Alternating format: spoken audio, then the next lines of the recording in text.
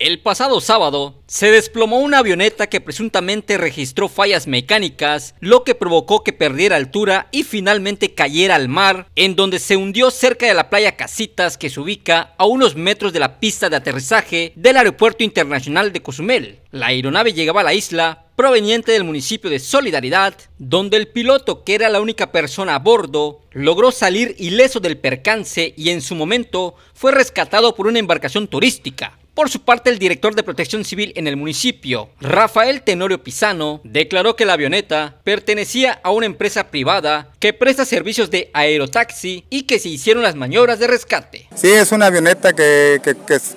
sale de, de vuelo de Playa del Carmen a Cozumel, este,